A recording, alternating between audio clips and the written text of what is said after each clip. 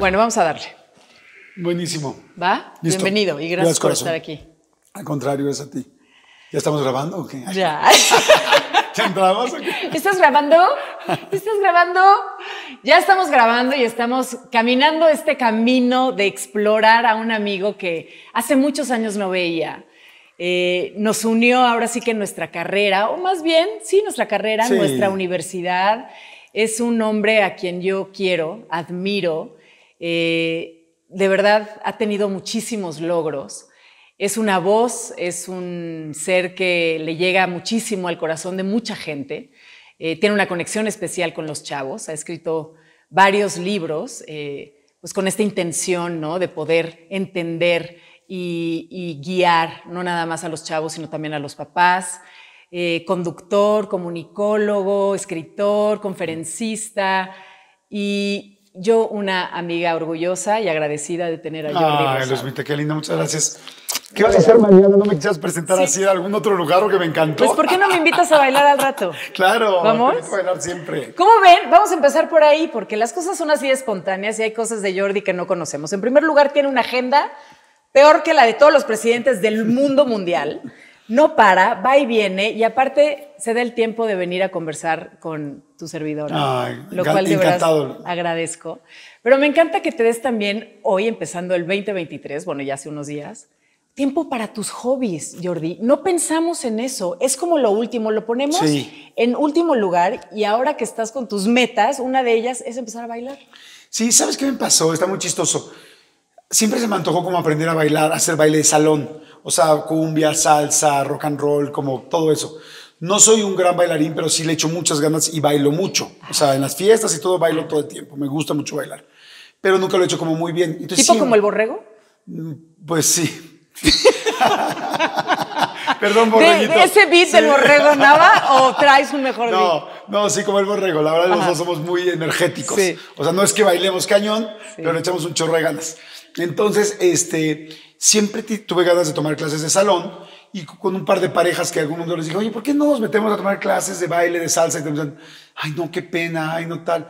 Y entonces ahora, en ese momento de mi vida, pues dije, bueno, pues si no he encontrado una pareja que quiera, pues yo me las hago yo solo. Por supuesto. Y, este, y entonces hice un grupo de amigos ¿Cuántas parejas son? eh, pues hoy vamos a hacer como siete Ajá. parejas. Y este, pero además lo padre es que no tienes que ir con pareja porque todos nos vamos rotando. Y Es medio swingers la onda. Sí, pues, no, no llegamos todavía a eso, pero déjame ver el próximo semestre. Y entonces el asunto fue como, vénganse, vamos a pasarla padre. Ajá. Y conseguí un maestro, renté un salón y invité a mis amigos y le puse el grupo bailando entre amigos. Y entonces máximo. todos mis amigos vienen, bueno, todos por una, una parte. Parecía que me costar mucho trabajo con los hombres, me costó trabajo convencerlos al principio, pero después, porque no, no son parejas, o sea, no, no son como que Sí, cada no quien son va con su matrimonios, esposo, no, o sea, no, no, exacto, no, no, no. son amigos. Cuates, ok. Entonces los, los hombres como que les costó trabajo, llegaron la primera vez y ya no lo soltaron. Oye, y están tú felices. obviamente este miércoles puedes llevar una galana si no estás con Sí, alguien de fijo claro. y la próxima vez a alguien más y así. Claro, sí. Pero fíjate, chistosamente no he llevado a nadie. Siempre he ido solo. No, porque primero quieres dominar la pista. No, pues como que son mis amigas y todo, es como que digo, si ya llevo a alguien, ya va a ser constante, entonces prefiero ir solo. Jordi, a mí me llama la atención, este, me llama la atención mucho tu, tu- tu camino, tu, tu inicio, ¿no? Porque de alguna forma, no muy cercana a ti, pero pues fui testigo de, de pues que eras un chavo que tiene unos sueños, que estudió en una universidad, que sabía que, que le gustaba comunicar. No sé si tú encontraste ese talento desde muy pequeño, o sea, algún alguien te dijo, oye, yo creo que vas a ser muy bueno comunicando, entrevistando, o la radio, o esto, o cómo fue. Y de ahí todo este camino laboral al que has llegado el día de hoy, con muchísimo esfuerzo, con muchísima dedicación, eh, mucha disciplina. ¿Te imaginaste en cuando estabas, digamos, con el buen Adal, tener todos estos logros que has tenido hasta el día de hoy? Fíjate que yo te podría decir, no, hombre, sí, siempre decreté y siempre Visualicé. pensé. No, la verdad no. Solo hay una cosa que sí siempre he hecho, que ha sido constante en mi vida. He hecho las cosas con mucha pasión. O sea, verdaderamente lo hago feliz y muy contento pues prácticamente la mayoría, si no es que todo lo que hago.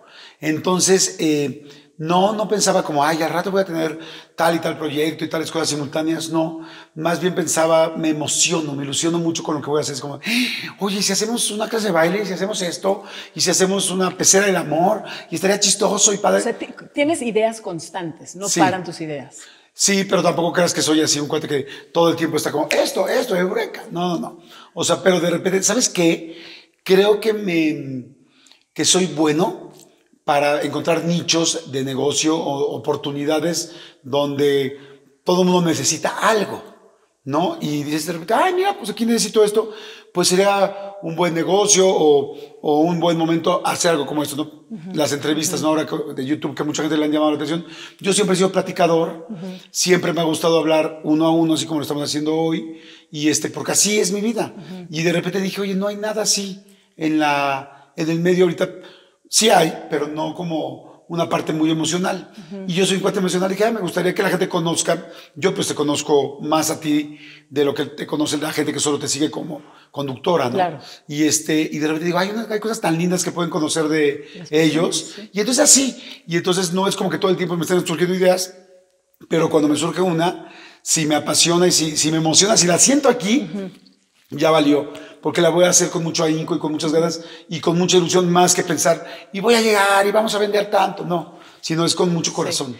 Hay una pregunta que, que de pronto le hago a mis amigas este, cantantes que obviamente tienen el sueño de estar en escenarios y de tocar corazones y de componer canciones. Y me da curiosidad y te lo quiero preguntar, ¿sientes que la pasión llega un momento donde se drena? O sea, esa pasión con la que saliste a la universidad, esas ganas de soñar, esas ganas de proponer, llega un momento en tu vida ahorita donde, ay, empieza como a drenar.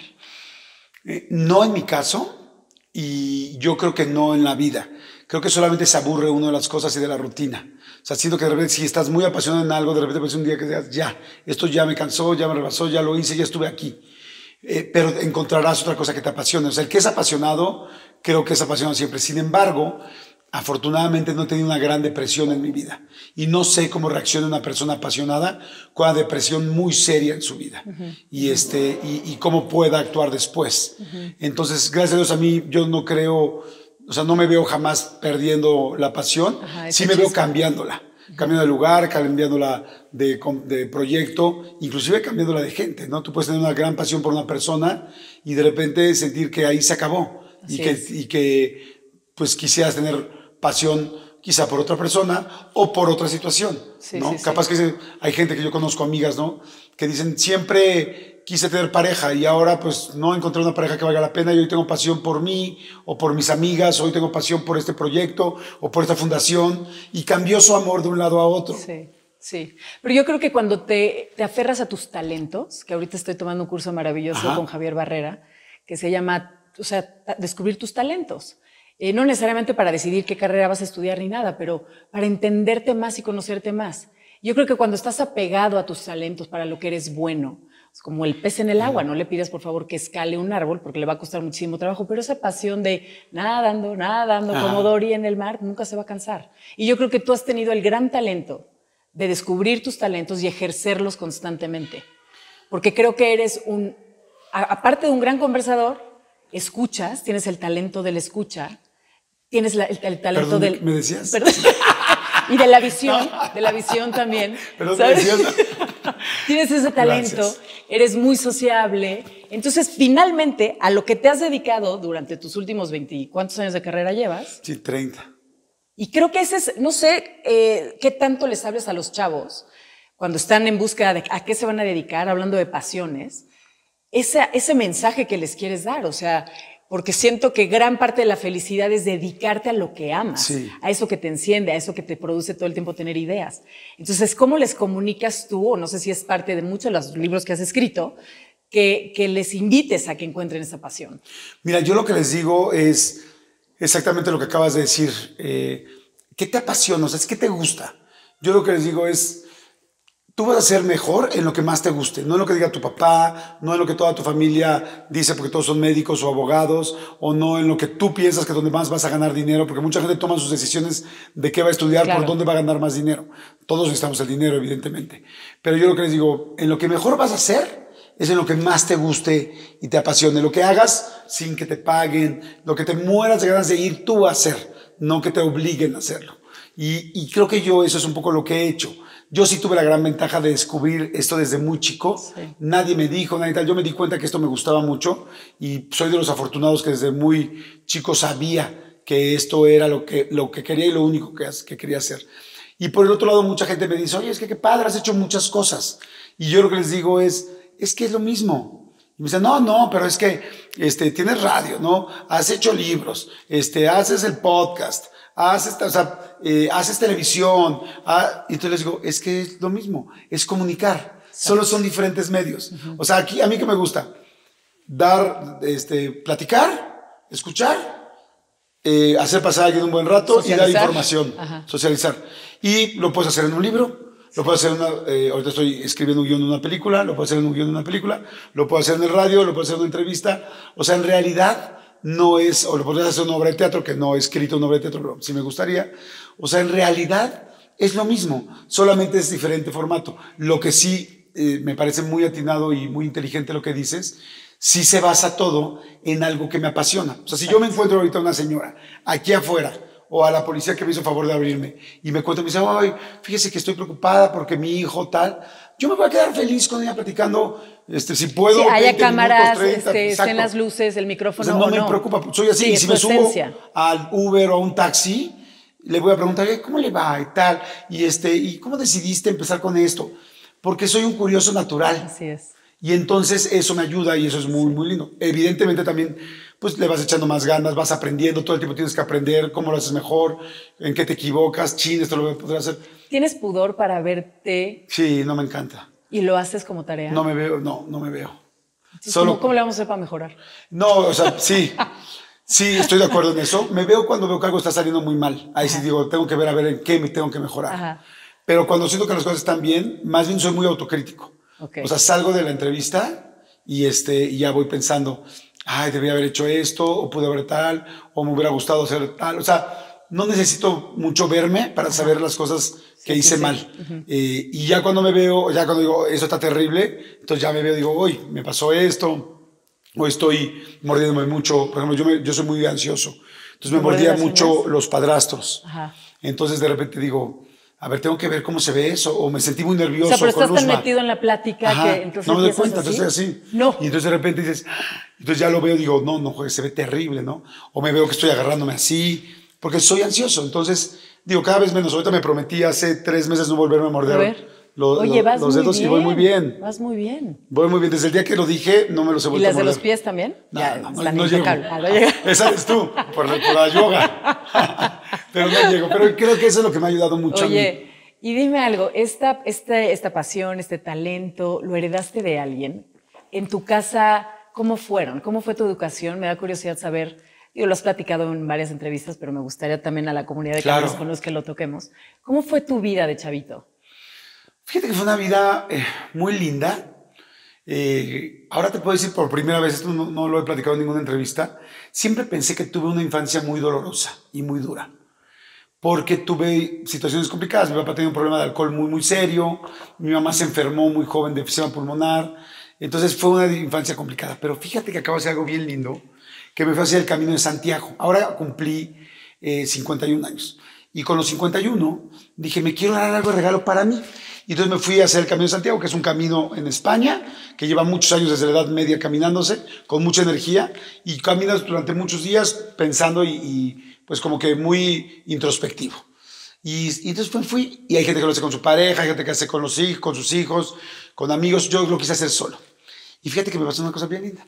Iba caminando y yo me puse en la cabeza como ciertos objetivos de cada día trabajar algo. ¿no? El primer día dije voy a trabajar a mis papás y a mi hermana. El segundo día voy a trabajar a mis hijos, cómo es cada uno, qué podría hacer con cada quien, en qué puedo mejorar con cada uno, cómo es cada quien para entender que no son los mismos, que son mis hijos pero no son iguales. El tercer día voy a trabajar a mis parejas importantes, en qué me he equivocado, qué puedo mejorar, qué hice bien, y, no me, y, y la otra persona no se dio cuenta. Y cuando dices trabajar a cada uno es, este día se lo voy a dedicar Ajá. a mis hijos. Sí. Entonces el recorrido que voy a hacer es Fue, con la ah, intención de dedicarles esta energía a ellos. Y pensarlo. Y pensarlo. ajá. O sea, yo caminaba, no, sé, ocho horas diarias.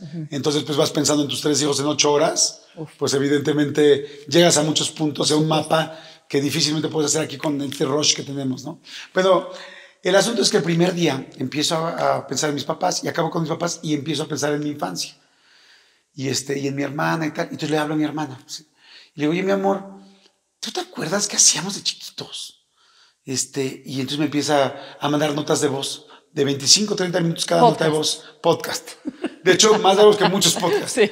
pero fantásticos. Entonces yo iba escuchando eh, mientras caminaba y era de, ¿no te acuerdas que hacías los desayunos en el lote baldío de al lado de la casa y te juntabas a todos y llevabas leche con chocomil en un topper que era como rombo de mi mamá y en un café? Y yo así, claro, en, un to- en una de esas cafeteras que estaban de moda, las que hacen de, wow, mantienen el café caliente, ¿te Sí, acuerdas? sí, Y sí, que eran sí, solo gringas. y- Claro, sí, los y- yetis de hoy. Ajá, exacto, los yetis de hoy, exactamente. Y este, y no te acuerdas que hacías esto y tal y tal, tal. Y cuando íbamos en las bicis que salió este E.T., entonces hiciste un concurso de bicis y todos íbamos brincando. Y dije, y no me acordaba de nada de eso. Y entonces me di cuenta por primera vez en mi vida, fíjate qué fuerte esta edad, que yo, yo siempre eh, autonombré que había tenido una infancia muy dura, una mala infancia. Y dije, no, tuve malos momentos, pero una infancia preciosa, pero no me acordaba. No, me- no me acordaba de eso. Sí. Y ahora que me di el tiempo me acordé. Wow. Y entonces es como muy lindo. ¿Cómo fue mi infancia? Fue complicada por las dos cosas que te mencioné, Sí. pero también fue muy linda. O sea, siempre fui muy organizador, muy de juntar amigos, siempre he sido, como dices tú, muy sociable. Y, este, y me gusta, me gusta Sí. ser equipo. Entonces, este, fue una infancia linda. Y si había alguien que me heredara esto, pues lo del medio no, porque nadie de mi familia trabajaba en el medio, pero sí todo lo demás, o sea, mi forma de ser, ¿no? Mi mamá era una mujer sociable, divertida, muy carismática, muy linda, muy extrovertida. Y mi papá era un hombre muy trabajador, muy de ir a los museos, muy de aprender, muy honesto, muy derecho. Y la verdad, tengo de ambas cosas, ¿no? Hoy, hoy me acordé que hoy en mi programa de radio les empecé a preguntar a la gente, eh, hoy cuando estamos grabando esto, es el día de la selfie de los museos, o sea, de tomarte una selfie en el museo. Y entonces le dije a la gente, ¿qué museo me recomiendan? Digan, díganme un museo que les gusta a ustedes, que toda la gente lo sepa. Y empezaron a contar, a hablar de muchos museos, y yo dije los míos, mis favoritos, en fin. Y de repente dije, ay, ¿se acuerdan del museo de ay, ciencia y tecnología que estaba al lado del, de, de, eh, de la, de la feria? Y entonces la gente dijo, ah, sí, sí, nos acordamos. Y me acordé que mi papá me llevaba siempre a ese museo. Y que para mí era lo máximo llegar con mi papá agarrado de la mano, entrar al museo. Me acuerdo que había un coche, un Chrysler en la entrada que era, este es el coche del futuro. Yo lo veía Wow. por todos lados. Y luego veíamos, ya sabes, cuando pasa la chispa de un, de un pues como de un polo a otro polo. Y ¿sabes? como el, era como el museo, como la ciudad de los niños, o cómo se llama ahora. Sí, sí, sí, Como ahora. el museo del niño, Sí, claro. pero de hace Que hay como 45 años. sí, ajá. Y entonces dije, ah, y hoy me cayó el 20 y dije, yo amo ir a museos, me fascina. Yo, mi mejor domingo es irme a un museo con mi hija, porque es la Ajá. que me sigue la onda, o con alguna persona con la que esté saliendo, ir a un museo y disfrutar y todo. Y, este, y, y entonces uno piensa de repente, es como, sí, me gustan los museos. No, tu papá te enseñó eso. Digo, también hay cosas que te Sí, pueden claro, gustar a ti, viene- viene pero hay muchas lugar. cosas que vienen de ahí. Entonces, como que ahorita estoy en un momento muy lindo, donde estoy reconectando con muchas cosas que, me, que gracias a, a ellos hoy tengo. ¿Sabes qué se me hace precioso acerca de estas reflexiones que estás teniendo?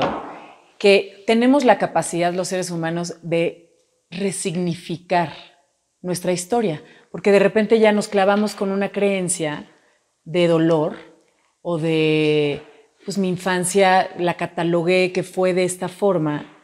Cuando te empiezas a echar clavados o cuando analizas con mucha más este, compasión a tus padres o, o, no los que estuvieron a cargo, es como decir, híjole, no, mi madrastra no fue mala. Mi madrastra tuvo la mejor intención y cuando te empiezas a cambiar tú tus propias historias, cobra un sentido hermoso, porque también es, vamos a necesitar que nuestros hijos resignifiquen Claro, todas las favor. regadas que estamos haciendo en este momento. Claro. Entonces, entre más rápido lo empezamos a hacer nosotros, pues más alegres vamos a ser, menos rencorosos y- Claro. y, y perdonar aquellos dolores y como resignificarlo. Pero me gusta mucho y quiero explorar contigo. De hecho, aquí tengo unas tarjetas. Jamás hacemos esto en Caminos con Luz, pero platicas tan rico y luego se nos va a ir el tiempo tan rápido Ay, que no, aquí feliz. hay ciertas palabras que no quiero que se me vayan. Y ahora que hiciste todo este camino, el camino de Santiago, que tengo, o sea, está en mi bucket list, 100% lo quiero hacer. eh, cuéntame todas estas reflexiones que tuviste acerca de tu mamá. Pues de mi mamá, fíjate, me di cuenta que siempre fue mi, pues que siempre fuimos ella y yo un equipo muy grande, éramos muy parecidos ella y yo, y este, y me di cuenta que también en algún momento, eh, mi mamá falleció hace un poquito más de 20 años, y me di cuenta que en este tiempo hubo cosas que fui conociendo que me hicieron sentir triste o enojado, y de repente me di cuenta ahora que, bueno, ya llevo un, un tiempo trabajándolo, que, que mi mamá hizo lo mejor que podía y que Exacto. tomó las decisiones de la mejor manera y que de repente juzgamos muy fuerte una decisión, porque yo tuve la mejor mamá del mundo, ¿no? Bueno, todos, bueno, no todos, pero la mayoría de las personas tenemos a la mejor mamá del mundo Sí. y porque la tenemos en realidad, porque era la tuya y porque realmente te ayudó a, a ser la mejor mamá del mundo con- en cada momento. Por eso cada quien decimos eso y es real, porque parecía, es que no hay ninguna mamá, sí, son todas, Sí. todas con cada uno. Exacto. Pero en este caso me di cuenta que muchas de las cosas que yo de repente dije, pero ¿por qué esto? ¿Pero por qué tal? Ya cuando piensas, a ver, ¿de dónde venía ella? ¿Qué dolores traía? ¿Qué preocupaciones tenía? Entiendes muy bien sus decisiones y te das cuenta, o bueno, por lo menos yo me di cuenta, de cómo me cuidó de tantas maneras, aunque a veces cuidarte no parezca ser la mejor, o sea, aunque a veces Sí, la, decisión no exacto. parezca ser la mejor, pero en sigue siendo por cuidarte. Entonces, eso ha sido muy lindo que descubrí a mi mamá. Ya está hermoso. Entre miles de cosas, ¿no? Pues de tu papi, algo especial, así que te cayera un 20 ahorita en este camino. Mm, de mi papá, Aparte Eh. de todo lo que ya nos compartiste, pero mm, me cayó el 20 de que, de que mucha de lo que soy eh, profesionalmente tiene que ver con él. Yo estuve mucho tiempo separado de él, porque por el alcohol, pues se perdió literal casi 25 años de mi vida y yo la de él. Y este, aunque vivían juntos. Sí, vivíamos juntos, pero pues bueno, mi papá llegaba Ausente, muy tarde, sí. súper ausente, pues eh, borracho, pues es muy difícil. Bueno, no es muy difícil, es imposible. Y no, pero no convivir. tenía una borrachera agresiva y que No. eso también. No, en algunos aspectos, algunas cosas que me decía, pero no nunca agresiva Sí, sí, de sí. física ni nada, pero pues más duro, ¿no? Porque la, eh, la ausencia de alguien puede ser extremadamente agresivo. Pero me di cuenta que del poco tiempo que estuve con él, que yo te puedo decir que es de los 0 a los 10 años, y después sus últimos años, de los últimos 10 años de vida de él, que afortunadamente pudo estar limpio y dejar de tomar, en esos dos pequeños periodos de 70 años que tuvo, me enseñó muchísimo. Entonces dije, qué fuerte es la enfermedad, pero qué chingón papá tuve, que en tan poco tiempo me pudo dar la esencia de lo que quizá otro papá no me hubiera podido dar nunca en los 74 años. Entonces digo, Es tiempo de qué extracto tan interesante y qué agradecido estoy con él que me pudo dar todo eso, ¿no? Pero, ¿sabes? Este, conecto con eso que estás contando de tu papá. Yo no sé si casi, casi eh, intuyen que se van a ir y quieren dejar esta huella en nosotros. Este, que también, no sé, como que conecto con estas ausencias que de pronto mi papá tuvo, que justo los últimos años se dedicó, pero a ser eh, mi asesor financiero, mi psicólogo, mi mejor amigo, mi acompañante, mi- todo eso. Y entonces es irremediable ese, ese lugar cuando se van, esa ausencia nuevamente de extrañarlos, ¿no te pasa? Sí, sí, sí me pasa. Y sabes que ahorita que estabas hablando, pensé en algo que, que quizá no lo había, eh, no, no me había cruzado por la mente, pero me gustó lo que dijiste, ¿no? Quizá ellos ya saben.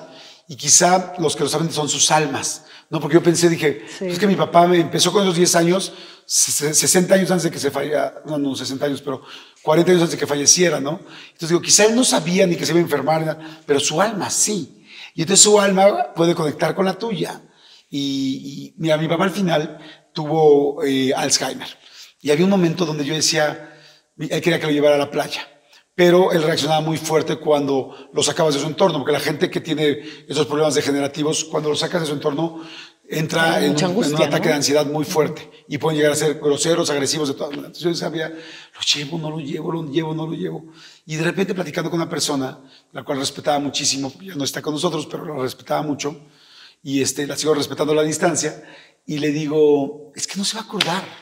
O sea, voy a jugármela voy a jugar una carta muy fuerte de las últimas veces que voy a ver a mi papá y él no se va a acordar. Y me dijo, él no, pero su alma sí. Su alma está viendo todo lo que tú estás haciendo, aunque su cerebro ya no funcione, aunque su- sus brazos, en su caso sí funcionaban, pero aunque una persona inclusive ya no abra los ojos en un hospital y tú digas, me está oyendo, movió el ojo, abrió el ojo, aunque no lo mueva, el alma está, ahí intacta Sí. hasta que se vaya. Y entonces las almas se comunican. Entonces, ahorita que dijiste eso, dije, ay, qué interesante. Dije, tienes toda la razón. Las almas seguramente tienen mucho más el plan de vuelo que nosotros. Sí, información. Y, y- y dime una cosa, ¿lo llevaste? ¿Lo llevaste a la playa? ¿Y cómo les fue? No, increíble. ¿Solos? Solos. Cállate. Estuvo fuertísimo. Pero fue una experiencia, o sea, como- me imagino que como de agridulce, ¿no? Así iba yo, ¿no? Y además, lamentablemente, mi hermana no pudo ir, entonces me fui yo solo con él. Y este, ¿A dónde te lo llevaste? a Tuxpan, Veracruz, que eh, es la playa más cerca, fíjate, porque además él ya tenía unos horarios muy duros y yo durante tres, cuatro años le decía, oye, ¿quieres ir al mar? ¿Cuándo vamos? ¿Cuándo vamos? No, así me decía, no, porque este fin de semana tengo que planchar. Yo, ok. No, porque este fin de semana voy a lavar. Ok. Entonces ¿Eso decía, pues no decía? quiere, sí, Ay, así. no, no, y sí planchaba y sí lavaba. No. Porque además era súper, súper independiente, entonces él no quería que nadie le hiciera nada. No, no, en no, fin. qué divino. Y entonces un día que le dije, oye, a ver si este fin de semana vamos, y me dijo, sí, este fin de semana. Así dije, wow. Dije, entonces quizá esto sí es como un indicio de que esto se va a terminar ya. O sea, si llevo cuatro años diciéndole. Quiero o sea, llevarte, quiero y, llevarte. Y nunca ha querido, y hoy sí. Ajá. Cuando él fue el que me pidió, quiero ir, quiero ir, pero siempre tenía un pretexto. Total que fuimos, pero me dijo, yo quiero llegar a des- desayunar y a cenar. O sea, me dice, yo desayuno aquí a las nueve de la mañana y ceno a las siete. Y quiero ir a la, a la playa que papi es imposible. Y no se subió a un avión, ¿eh? Le dije, no, no, le dije, es imposible. O sea, irme en coche, ir, regresar y que tú salgas a las nueve, regresamos a las siete, no. Total que, bueno, solamente le logré mover dos horas de su horario y entonces averigué cuál era la playa más cercana y era Tuxpan y resulta que Tuxpan era una- la playa donde él creció de chico. Le gustaba pescar, él era muy, pues, muy de playa. Y ¿Pero entonces... de- en dónde nació? Él nació en León, Guanajuato, pero él vivió muchos años en Progreso, Yucatán, eh, vivió en Tuxpan, vivió en lugares donde hay mar. Y era guerrero, o sea, él era de meter las manos abajo de las piedras, sacar langostinos, Sí, sí, tal. sí. o sea, él eh, no, no, era, en ese aspecto somos muy distintos. O sea, yo no meto bajo la mano una piedra, pero ni a madrazos, o sea, o sea, Sí, no, no, no, por eso no explorador. verás nunca en los programas de el, ¿cómo del inframundo. No, y el reto, no sé cuál, y vete a la isla desnudo. No, no, y no, todo yo jamás, jamás en la vida haré eso. No. Y este, y entonces fuimos a la playa, fue algo precioso, fue increíble, sí iba yo con mucha precaución. Claro, obviamente. Este, fue algo precioso, fue de nuestras últimas pláticas padrísimas. Este, fue muy, muy lindo porque mm, este, tenía tantas ganas de llegar al mar que fue impactante porque yo llegué y este y él se llegamos a la playa y en lo que yo iba pues a palabrar una palapita yo cuánto cuesta tal tal él empezó a caminar así hacia el mar yo espérame espérame papi porque además estaba muy flaquito pero muy entonces yo dije espérame no se me vaya a caer literal no y además dije ahorita que entra al mar viene flaquititito además yo no lo había visto hacía mucho tiempo sin ropa con traje de baño y fue así de Ay, madre sí. santa ya ves Sí, que sí, sí. la gente Sí, sí, grande no empieza a perder mucha masa muscular, Claro. mucha. Y es muy duro ver a alguien que quieres tanto, Sí, sí, sí. tan endeble, ¿no? Sí, y des- de- finalmente desintegrándonos, ¿no? O sea, Exacto, literal, literal. Por eso dicen, ¿no? Cuando uno es bebé, sales chiquito y te vas haciendo grande. Y cuando eres viejito, te vas haciendo chiquito. ¿No? Te vas encorvando, chiquito, los músculos, todo, ¿no? ¿Cuántos este, viejitos, verdaderamente gente grande, has visto con sobrepeso? o sea, No, no, no. Es muy difícil, ¿no? Bueno, de hecho creo que yo no he visto ninguno. El asunto es que llegamos y en lo que yo platicaba de la palapa, lo veo caminando así solito hacia el mar. Yo, espérame, papi, espérame, espérame. Llevamos cuatro horas y media, bueno, cuatro horas en lo que llegamos, en lo que pasé por él.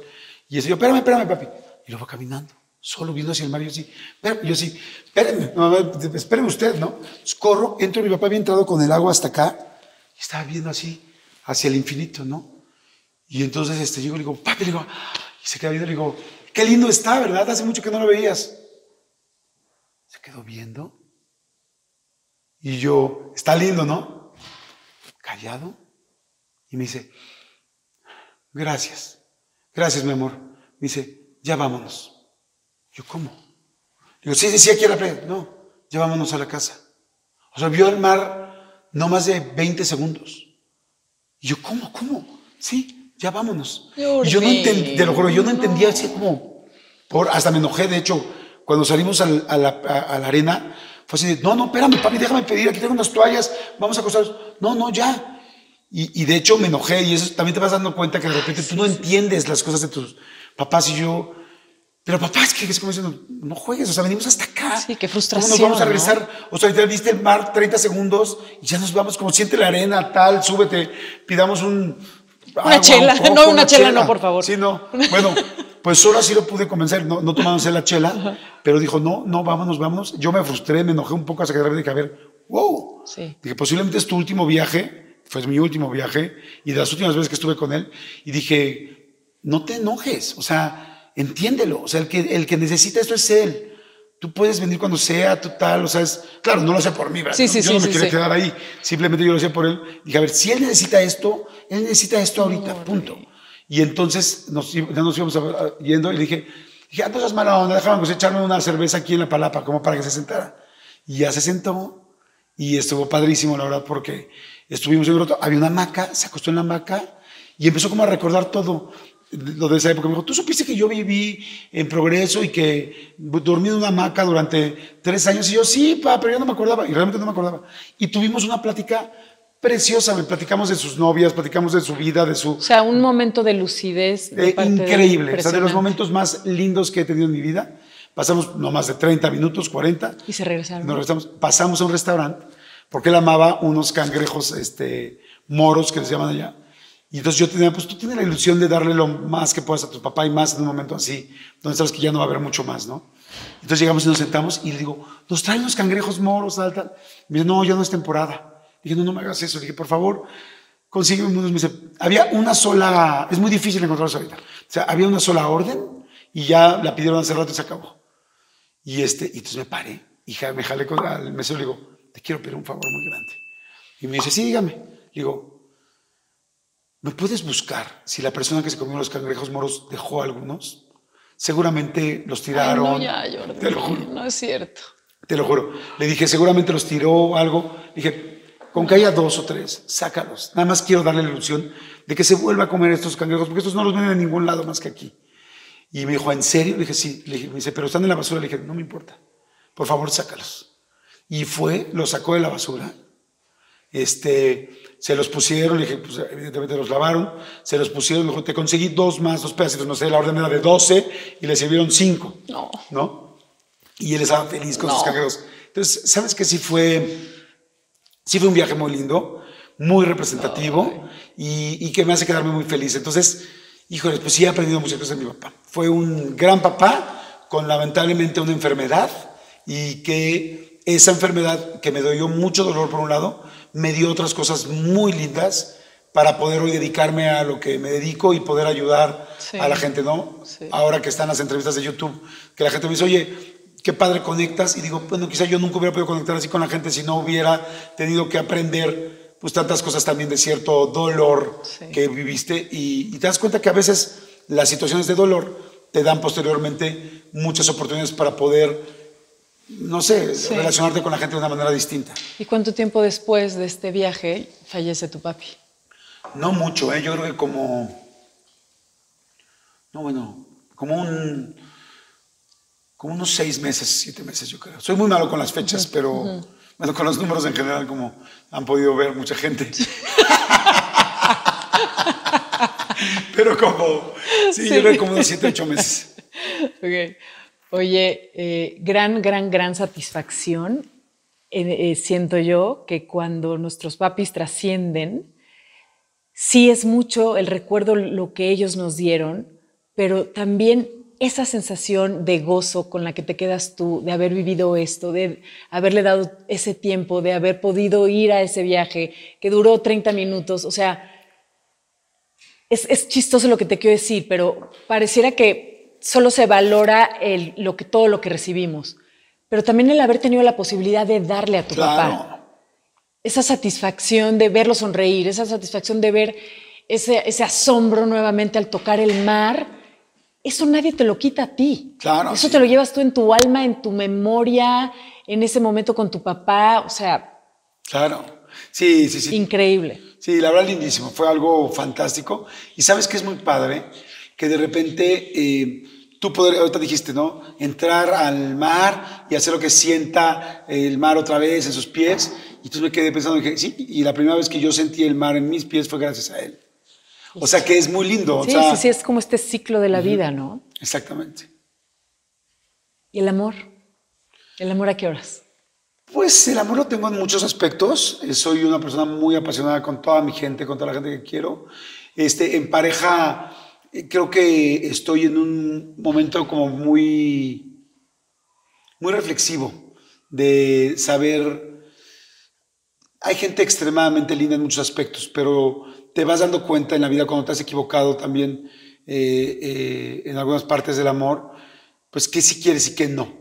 Entonces ya no me es tan, tan fácil decir, ah, ya, vamos a tener una pareja nada más por tenerla, ¿no? Porque gente linda, pues sobra, ¿no? O sea, no sé si sobra, pero hay gente muy linda. Sí, sí, pero alguien Este, compatible mm, contigo. Pero como que- ya ir a, a- a este siguiente nivel.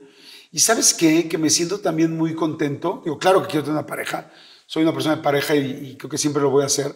Pero también he aprendido muy bien a estar solo y, y- Y a estar conmigo, a disfrutarme. Y, y creo que ahora hay veces que de repente la gente te dice, oye, es que, pero ¿cómo? ¿Por qué estás soltero otra vez? O, o tal, o qué lástima que no ha funcionado. Y yo, ¿Que no ha funcionado qué? Le dije, no, no, claro que ha funcionado. Yo tuve un matrimonio de 18 años, precioso, padrísimo. Pues sí, se terminó. Quizá nuestro lapso de tiempo eh, iban a ser esos 18 años. Y, y- y entonces como tengo esas satisfacciones de decir, "Mm, yo he tenido, una yo he tenido relaciones, no solo esa. he tenido relaciones muy bonitas, ¿no? Tuve una, eh, mi expareja, ahorita, eh, la, la última pareja que tuve, Fue una, es una niña lindísima, Janet, tuve una relación preciosa, fantástica, donde crecí, donde aprendimos juntos, donde disfrutamos juntos la vida, donde dices, wow, qué lindas relaciones. Entonces, eh, que termines con una pareja ya no me parece eh, en mi vida que, que es, no funcionó. No, no, no, al contrario. Este, Cumplió funcionó muy su bien. ciclo, Cumplió hablando un de ciclo, ciclos. Después puedes decir, queremos cosas distintas, y entonces, pero estoy muy tranquilo Sí. en ese aspecto. O sea, ya no ya no corro en mi vida así de que me, me urge estar con alguien. Claro, me encantaría estar con alguien, pero no me urge. Y me acuerdo perfecto cuando te, te separaste, tomaste la decisión. Este, no sé por qué coincidíamos tanto, Rebeca, tú y yo, en ese momento de nuestras vidas. Y, y nunca se me olvidar cuando me dijiste, voy a volver. Y volví, ¿no? Y volviste un rato más. Ajá. Sí, estuvimos casados nueve años, sí, nueve años, un break de un año, nos divorciamos y nos volvimos a casar y somos nueve años más juntos. ¿Qué extrañaron que los hizo volver? Mm. ¿O qué valoraron el uno del otro o de la misma relación? Yo creo que lo que valoramos ambos fue este, el saber que la otra persona podía crecer y, y darnos cuenta que, que ambos estábamos dispuestos a analizar nuestros propios errores en lugar de nada más estar señalando el del otro. Y eso fue lo que nos hizo volver. Nos hizo volver en los dos escucharnos hablando, diciendo, yo me equivoqué en esto, yo hago esto mal por esto, el ver que cada quien trabajó en sí mismo. Por eso regresamos. Y por eso estuvimos nueve años más otra vez. Mira, se oye muy chistosa la historia de se casaron dos veces. La realidad es que yo creo que si no nos hubiéramos divorciado, yo soy muy by the book. O sea, muy... sí, sí, las cosas como tienen que deber ser. Entonces, como que yo dije, si ya los dos decidimos que no vamos a estar juntos, ¿para qué seguimos alargando, alargar el divorciarnos? Mejor ahorita que no tenemos problemas, que nadie tiene una pareja, firmemos y si algún día nos vuelve a interesar, pues volvemos a firmar, es un papel, pero por lo pronto ahorita ya no, yo no quería que se, fuera a lastimar nuestra Sí, relación, sí. más allá de lo que ya la parte amorosa se había lastimado, no, no existía ya. Bueno, no es que no existiera, pero estaba lastimada. Y eso fue lo que pasó. Si no- yo no hubiera tomado esa decisión de sugerirlo, decir, hagámoslo una vez, hubiéramos sido un matrimonio como la mayoría Que se dieron una dieron pausa. un break. y que uno se fue a su casa, a un, rentó un departamento Sí, y regresó sí. a los nueve meses. Sí, totalmente. O sea, realmente solamente toda esta infraestructura que todo el mundo dice, se casaron dos veces y que por un lado fue la historia de amor, porque llegábamos a todos lados y era como de, cuéntenles, cuéntenles, que vean que el amor sí existe, porque era Disney. Sí, claro. O sea, nuestra historia era La Disney. esperanza para todos los Todas que las ya mujeres están, era sí. como, escuchen, escuchen, así como que sus esposos escuchen. Sí. Y ya luego cuando nos volvimos a divorciar fue, pero ¿cómo? Y dije, Madre Santa, o sea, fuimos los reyes y ahora La esperanza somos y la La esperanza y decepción. la decepción de Sí, las sí, sí. reuniones de amigos. Tú y yo nos encontramos en una reunión, me acordé. ya después del, del divorcio. Y este, y en realidad, pues eso fue lo que pasó. Sí, o sea, sí, sí. Solo, solo. Pero sí creo muy- este rollo como casarte dos veces, ¿no? Ajá. Pero tienes toda la razón. O sea, ¿cuántas parejas se separan, vuelven y no hay tanto show? Y además, y yo sí acepté, bueno, ambos aceptamos volvernos a casar. Exacto. Porque en realidad dicen que no sabes de quién, eh, que sabes con quién te casas, pero no con quién te divorcias. Y nosotros sí sabíamos de quién nos habíamos divorciado. Sí. Sabemos que los dos nos habíamos portado, ella como una dama y yo como un caballero. Entonces, pues volverte a casar con alguien con quien hiciste una familia, pues es como bastante lógico, sobre todo cuando sabes enfrente de quién estás. Si hubiéramos tenido problemas legales, Claro, broncas, claro. entonces sí dirías, pero no fue así. Los dos, afortunadamente, eh, con el tiempo que ha pasado, pero somos dos personas que hemos ido evolucionando y creciendo y cada quien tendremos nuestras cosas que mejorar y que trabajar, pero hay una cosa que sí es una esencia que los dos eh, mantenemos, y es que ambos somos buenas personas. Oye, tres hijos increíbles. Ay, sí. no, Ya con una edad de qué? ¿Qué edades tienen? Santi está a punto de cumplir 18, eh, Regina tiene 16 y nuestro pilón de la segunda vuelta con mi segunda esposa de mi primer matrimonio, Elías, tiene 9. Oye, Entonces 18, 18 16 y... o sea, una cosa es escribir libros sobre la adolescencia, otra cosa es de verdad es ser papá de un adolescente. Sí. Y, y criarlos y aconsejarlos y saber cuáles son los momentos duros de la escuela, no sé, a lo mejor secundaria, que los grupitos se, ya sabes que los populares, los no populares, o sea, todo lo que pasan los chavos. Me imagino que ha de haber sido de gran bagaje positivo para ti haberte, haber tenido la suerte de tener estos libros, de haberte adentrado tanto, de haber tenido esta mancuerna maravillosa con Gaby. ¿Y cuánto te ha servido? Me imagino que mucho, pero dime también si te has sentido de vez en cuando desarmado en ahorita qué consejo doy, ahorita para dónde me muevo, ahorita lo estoy viendo de esta manera y no sé qué hacer, ¿no? No nada más al grande, a todos. Sí, sí, claro. Eh, mira, eh, cuando yo empecé a escribir los libros de adolescentes con Gaby Vargas, el Cúbole para mujeres y Cúbole para hombres, que de hecho lo hemos seguido re- reeditando y, este, y pues actualizando, porque son libros de consulta. Entonces, este, los libros tienen siete reediciones. Sí. O sea, cada tres años lo, lo volvemos a, a reeditar.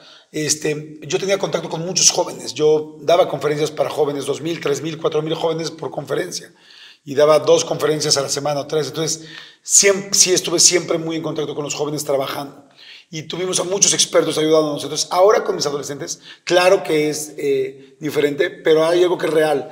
Ni los sexólogos, ni los expertos en adolescentes, ni los que escribimos los libros, ni los que son este, terapeutas específicos o pedagogos, están exentos de no tener problemas con sus hijos porque son humanos. Entonces, tú puedes saber la teoría, pero en la práctica te duele, ¿no? Tú puedes decir, mi hijo no me está pelando, mi hijo no me escucha, mi hijo no me, no me pela, y sé por qué es, pero eso no significa que no te duela. Uf, totalmente. O sea, la, la ventaja es que sabes por qué es, Ajá. tienes un poco más de idea, conocimiento, pero claro. hay momentos donde evidentemente te duele, te enojas, te desesperas. Este, pues es yo creo que como un pediatra con sus hijos, ¿no? Sabe, Totalmente. sabe que le duele el estómago y sabe que tiene reflujo, pero igual va a estar hasta la madre de que lleva llorando seis horas, ¿no? Exactamente. O sea, entonces, este, sí, pero sí me han ayudado mucho y la verdad, sí, gracias a Dios, este, tengo tres hijos, este, bueno, tenemos tres hijos eh, que, que han sido unos grandes niños y hemos sabido también ser muy claros y poner muy límites. Somos papás muy, muy presentes. Entonces, ante el primer Están movimiento es ahí. como a ver qué hacemos, qué tal, y, y claro, por, por supuesto que, que, que no es lo mismo la teoría que la práctica. Oye, no creas que te voy a hacer todas estas preguntas porque No yo sé que tienes una clase de baile, o sea, muchas de estas ya las sobamos. Oye, pero lo que quiero que me digas, mi Jordi, hablando como te presenté al principio de todos tus logros, de todo lo que estás haciendo, eh, que estás activo en radio, estás activo en tele, estás activo en YouTube, eh, súper presente en redes, eh, presencia, ¿no? En las conferencias que das, entrevistas que vienes. ¿Qué sigue? Hace rato mencionaste algo de teatro, estás haciendo algo en cine. ¿Qué sigue en tu ámbito eh, Laboral. laboral? ¿Y, y cuál es ese éxito al que quisieras llegar? O si es que es nada más como seguir en la talacha No. y el éxito ya lo sientes hoy. Mira, mi éxito más grande ahorita es disfrutarme más a mí y la vida, porque he trabajado mucho. Eso es, antes que lo laboral está lo personal. Ese es mi, Maravilloso, ese es mi objetivo ahorita principal. Sí. Este, Y, amo- espérame, ok, padrísimo. Si estás en ese enfoque personal, hoy, por ejemplo, nos contaste de tu clase de baile. ¿Qué, qué, cuál es tu bucket list de cosas que quieres hacer para ti? Eh, viajar mucho, estar más con mis hijos, estar más con mis amigos, disfrutar mucho mi pareja, eh, disfrutar las cosas normales de la vida. O sea, porque tú, tú y yo sabemos que este trabajo es muy eh, rápido, muy vertiginoso, muy glamuroso, con comillas gigantescas. sí, sí. Este, o sea, a veces cuando tienes tanto trabajo te deja poco tiempo para las verdaderas cosas importantes de la vida. Entonces, eso. Y, y laboralmente, eh, es- voy a escribir un guion de película este año, que llevo muchos años eh, queriendo hacerlo. Este año lo voy a hacer. Y este, quiero ganarme un Emmy eh, por algo de televisión y quiero ganarme un Oscar. Entonces, eh, quizá empiece una carrera en cine importante. No, no crean que actuando, nadie se asuste, pero sí escribiendo. Nunca has actuado, ¿verdad? Bueno, Sí, sí, sí, sí he actuado en algunas cosas, pero Obras no de es teatro. mi onda. Sí. Este, o sea, digo, sí lo haría y sí lo hago, Ajá. pero Pero, no. el Oscar que te quieres ganar es como escritor. Puede ser como escritor o como director Ok. o como productor. Ok, ok. Ajá. O sea, sí me gustaría, por lo pronto, escribir y producir mi película. Dirigir no, porque soy muy respetuoso de las cosas que no sé hacer. Y eso, digo, no estoy diciendo que, ay, sí, soy un super escritor. No, no, no, tendré que ir aprendiendo, pero bueno, Claro. eso es algo que he trabajado. Dirigido no. Entonces, Ok. para que yo dirija una película, tendría que haber tenido ya experiencia suficiente para aventarme a hacer algo, pero no me gusta echar a perder las cosas. Yo siempre he creído que tienes que saber dónde estás parado y, y saber qué haces bien y qué no haces bien. Y, y de esta manera respetas más a las personas que saben hacer algo bueno y además te respetas a ti tratando de hacer algo bien hecho, porque el que quiere hacer todo no hace nada. Algo que quieras mejorar este año de ti, de tu ser. Ay, fíjate que, fíjate, este es de mis propósitos que me puse este año y no, y, y nunca me lo había puesto. Comer mucho mejor. No hacer dieta, no estar marcado, no. Comer más saludable. Ok. O sea, me estoy empezando a dar cuenta que digo, a ver, tengo esta edad, no he comido tan saludable, este, por muchos lados conozco gente que come muy bien, tal, y yo siempre he sido muy piqui con las verduras, con tal, y de repente sí le he echado ganas los últimos 10 años, pero tengo que hacerlo en serio. Ajá. O sea, entonces, este, este año mi principal objetivo es comer mucho más sano, como así darle mucha mejor gasolina. Puedes venirte carrocería. aquí todos los días a comer si quieres. Sí, no, me imagino. Tampoco, tampoco no sé si. Porque. Ah, comes mucho, ¿verdad? No, Entonces no, hay que hacer triple súper. Empecé, bueno, conocí a una, a una niña, bueno, a, a una chica. Nutrióloga, que, este. No, no, que come irreal, ¿no? Pero todo es, todo es así súper, súper nutritivo, todo es superfood, pero toda su vida es superfood. Entonces dije, no, no, tampoco sé si yo pudiera tanto. o Sí, sea, sí, sí. es El balance, demasiado. el balance. Entonces, es como, sí, no, yo sí quiero un día, o sea, soy carne, ¿no? O sea, un día Sí, quiero, sí, sí. este, no sé, un lácteo. Y disfrutas mucho comer. Sí, claro. Sí. Entonces digo, sí quiero mejorar, pero tampoco quiero cambiarme a- al otro bando, así completo. Oye, en algo en, la- en lo que te venga así rápido que te arrepientas. De anteponer el trabajo ante cosas muy importantes de tu vida. Mi graduación, no salgo en la foto de mi graduación de la universidad por ir a un trabajo que creí que era súper importante. Este, nunca he dejado de ir a algo de mis hijos, jamás. Pero sí me, me- me sacrificado mucho en mi persona Por chamba. por chamba. ¿Y lo que más agradeces de la vida? Ay, todo. Salud. Tener esta salud. eh, agradecerle a Dios que eh, me deje hablar, que me deje eh, caminar, respirar. Híjoles, cada vez entre más entrevisto gente, entre más conozco gente, tengo más cosas y más cosas que agradecer. Sí. Pero lo que más, creo que lo que más, más Fíjate, ya sé cuál es una buena respuesta para eso. Es que, qué bonita pregunta. Lo que más agradezco son los papás que tuve. Porque gracias a ellos estoy yo aquí hoy. Y aunque parece que fueron complicadas las cosas, esas cosas tenían que ser así para que yo hoy pueda hacer lo que hago y de lo cual me siento muy orgulloso. Jordi, eres muy generoso también al compartir todo lo que nos dices. Ay, no, hombre, yo encantado. De veras. Te lo agradezco muchísimo. Yo feliz, yo te admiro mucho, sabes que te quiero mucho. Hay varias frases tuyas que recuerdo de por vida. Este, hay una que algún día me dijiste que me encantó. ¿Te acuerdas? Alguna que- una vez me dijiste una frase que adoré y este, en ese momento estábamos hablando de tu esposo y yo te preguntaba que si eras exclusiva de Televisa. Y volteaste y me dijo, de la única persona que soy exclusiva es de mi esposo. Y me dijiste eso y se me hizo tan íntegro que, que, que nunca se me olvidó. Nunca, nunca se me olvidó este, esa frase en ese momento. La vida puede dar muchas vueltas, evidentemente va, Claro. va cambiando, pero la integridad de una loco. persona y la esencia de una persona no cambia. Entonces, aunque no te conozco tanto como quisiera, sí sé quién eres.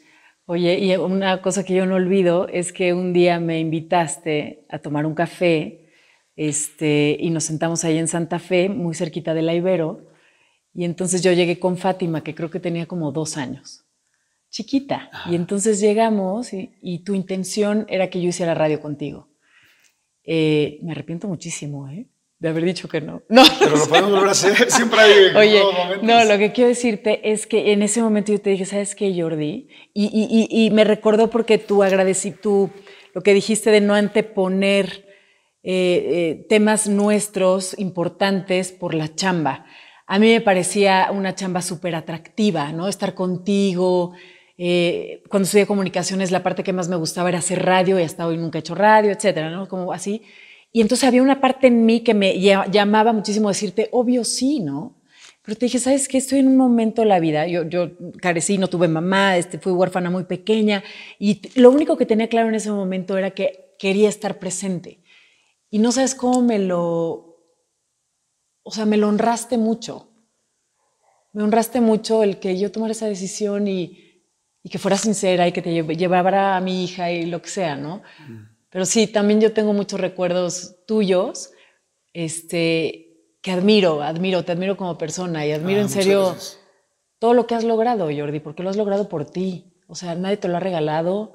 Ha sido un trabajo constante que a veces te agota, obviamente, y me parece súper sabio de tu parte que empieces a, a decir, a ver, cuáles son las tarjetas que me quiero quedar y cuáles quiero desechar. Vale la pena, porque la vida, como sabemos, Claro. y con todas las entrevistas, y a Toñito la acabo de tener también hace poquito, como tú en tu programa, a Toño Mauri, o sea, tenemos demasiados casos cercanos donde la vida está y es tan efímera y tan rápida que hay que, hay que Hay que aprovecharla. Pues yo Sí. igual te admiro mucho, te quiero muchísimo. Gracias por la entrevista, gracias por el tiempo, gracias por las preguntas. Siempre se agradece mucho cuando alguien, pues, este, pues, le interesa y hace su trabajo también como tú lo haces para que uno pueda eh, contar, platicar y que la gente te conozca un poco más. Así es que gracias a toda la gente que te ve en tu espacio. Sé que es muy exitoso, que te va increíble. Gracias a todos por estar siempre, Gracias, este, por estar aquí, por quedarse un ratito, por dedicárnoslo. Exacto. Y así es que gracias por, Sí. gracias por todo. Luz. Yo Pues como dice Jordi siempre, comparte, compartan, Ah, sí, eh, que se crezca esta comunidad como la tuya, o sea que dame patadas, dame Claro. golpes, dame Los dos, vamos con dame todo, todo. para que vean nuestros dos canales. Fíjense, hay algo que es muy lindo, que la gente afortunadamente ahora en internet, antes en la tele todo el mundo era como, ay, se peleaban los canales. Eh, que si Azteca hacía una cosa, que si Sí. Televisa la otra, que sea la misma hora. Aquí todo al revés. Y aquí al revés. Aquí la gente lo que quiere es más contenido. Porque seguro te dicen, este, ay, Luz, ¿por, por qué no haces dos entrevistas a la semana? Ajá. ¿Por qué no tres a la semana? Pero entonces, a mí también me dicen lo mismo. Entonces, la gente que me ve a mí, pues luego véngase para acá. a ver, O sea, es lo que la gente quiere es más contenido. Sí. Antes la gente veía una pantalla, un promedio de dos horas, tres horas máximas al día. Una hora en la mañana, quizá dos horas en la noche. Ahora la gente está viendo en promedio 8, 9, 10, 11 horas de promedio, porque en el metro, en el camión, en donde estás trabajando, en los teléfonos, en los memes, o sea, las pantallas ahora eh, viven con nosotros. Así es, así Nosotros es. antes llegábamos a visitar a la pantalla, ahora la pantalla vive contigo. Está increíble. Entonces la gente ve mucho y quiere más contenido. Así es que bueno, Y evidentemente. otra cosa que es preciosa es que no hay, no hay esa competencia Exacto. de los ratings, de que si yo estoy a las 9 de la noche y tú también, entonces ya nadie, entonces yo te gano. No Cada hay quien lo ve a la hora que quiera. Hay gente que a las 3 de la mañana está viendo esto. Exacto. Hay gente que se acompaña en la carretera, haciendo algo en su casa, trabajando en un proyecto, viendo el otro. Entonces, yo lo que digo con todos, ¿no? yo tengo un podcast con Marta y Gareda que se llama De Todo Un Mucho, que también está aquí en YouTube, y les digo, acaban de verte todo mucho, digo, váyanse a ver las entrevistas de el canal. eh, Marta tiene un canal que se llama Infinitos, y luego Marta te puede mandar para acá, y luego para acá, porque la gente no se necesita ni quiere más contenido. Así y un es. contenido bien hecho, este, bien establecido, y pues con toda la experiencia con alguien como tienes tú, pues vale la pena que mucha gente lo vea. Gracias, Jordi. No, gracias, gracias nuevamente por estar con nosotros. Gracias por conectarse, por compartir, por crecer la comunidad. Gracias a ti por tu tiempo, No, por tu espacio, por tus anécdotas y por esa energía que siempre he admirado de ti. Ay, gracias. Abracémonos. Claro. Órale. Por favor. Mm, gracias, Jordi. Que estés muy Está un bien, poquito gracias. malito, no creen que mi perfume Sí. huele tan O sea, mal. ¿eh? Así- No, no, no. No, no, para nada. Te Ay, muchas gracias, quiero, gracias. Qué linda, Besitos. Gracias, nos vemos la próxima. ¿Y cómo valoras hoy el que estar con una persona que está consciente de sí? O sea, que está trabajada, que ha entendido eh, los momentos en los donde se cayó, por qué se cayó y cómo se levantó y que ha aprendido también a aceptar sus fallas, o sea, a verse, ¿me explico? Porque estás- si estás con una persona que sigue con una venda en los ojos, responsabilizando a todo lo que pasa afuera y no asumiendo su parte y sus temas, o sea, siento que eso y tener una persona feliz, o sea, que esté plena en su chamba, que esté plena con sus hijos, que esté en paz, que ojalá que tenga una buena relación con su expareja, o sea, una persona en paz, entonces es dos personas en paz, entonces vas a disfrutar mucho más Claro. a tener una persona que está en un pinche conflicto con todo mundo en la vida y llegas más a ser su terapeuta que en realidad a disfrutar de estar. Sí, sí, sí. Y, sabes que, y hay ¿No? mucha gente así. Sí, o sea, dos enteros en vez de media mitad.